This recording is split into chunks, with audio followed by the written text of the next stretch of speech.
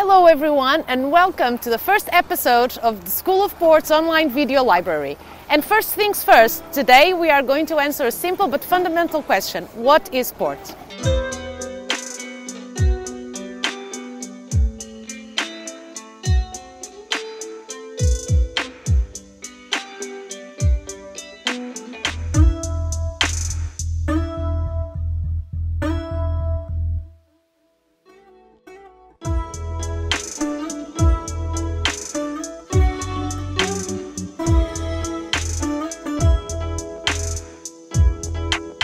Everyone has heard about port. Most of us will probably have even tasted some, likely in a family dinner or another special occasion. But how much do we really know about this beautiful drink? How much do we know about its tradition, the work, the history, and the passion behind it? Okay, let's start with the wine itself. Port is a sweet fortified wine, and it was one of the first wines to be globally distributed since the 17th century. Still today, it's a presence in most of the bars and restaurants and obviously people houses as well.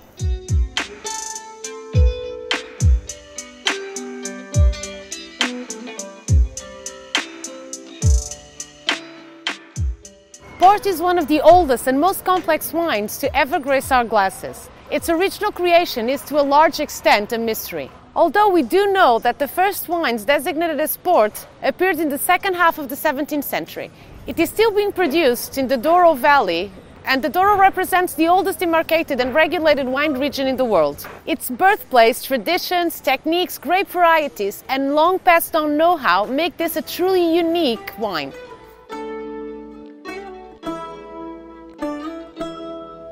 Speaking of which, you really can't imitate it. Port wine is a certified product which, by law, can only be produced in the Douro Valley and aged in Vila Nova de Gaia in Portugal.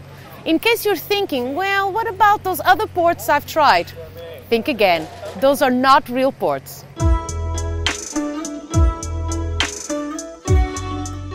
Being a sweet fortified wine means that port only has a short period of fermentation. The wine ferments for just two days before colorless and odorless grape spirit is added to kill the yeast, stopping the fermentation process and ensuring that most of the wine's natural sugar is retained. This procedure explains not just port's sweetness but also its alcohol content, which is normally around 20%.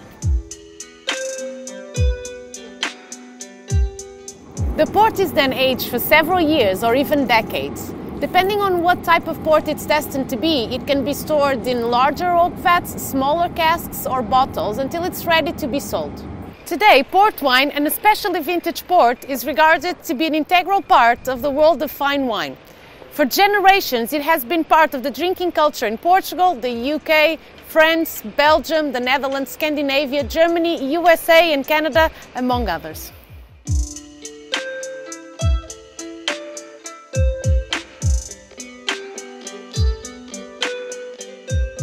In addition to those already aware of port's charm, a new generation of wine drinkers across the world have discovered the delights of port and sales have grown in these non-traditional markets. Port is a versatile wine which has its core drinking territory while also stretching to more contemporary serves and pairings and it is precisely the significance and enduring relevance of this wine in the 21st century that we want to talk about.